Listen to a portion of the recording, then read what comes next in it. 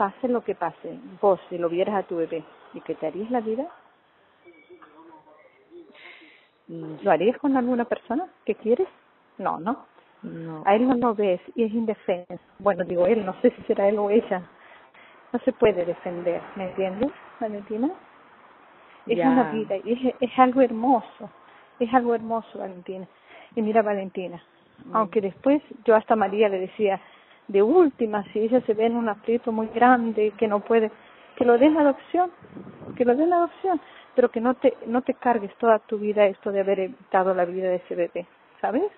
Mm. ¿Quién dice que en tu vejez o algo este hijo sea la- tu ayuda y tu y tu todo? ¿Me entiendes, Valentina? No sé, lo sé. Sí. Yo te digo que yo estoy, a veces hablo con mujeres que han abortado y no se lo perdonan, por más que, que a la iglesia les perdone, por más que ellas mismas le digan, ellas no se lo perdonan, ¿me entiendes, Valentina?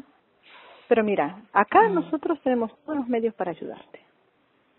Entonces, directamente el asistente social deriva y hace la incorporación y acá después se hacen todos los papeleos que corresponden de, de cambio de domicilio y nada más.